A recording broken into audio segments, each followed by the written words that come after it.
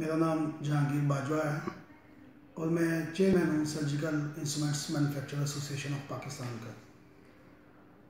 तेईस मार्च के हवाले से ये कहूँगा कि तमाम जो अकवाम आलम हैं, उनकी हिस्ट्री में कोई ना कोई दिन इंतहाई अहम होता है। पाकिस्तान की हिस्ट्री में तेईस मार्च का दिन इंतहाई अहमियत का हामिल है, क्योंकि इस दिन पाकिस्तान को माज वजूद में लाने के हवाले से एक करारदार मंजूर हुई थी।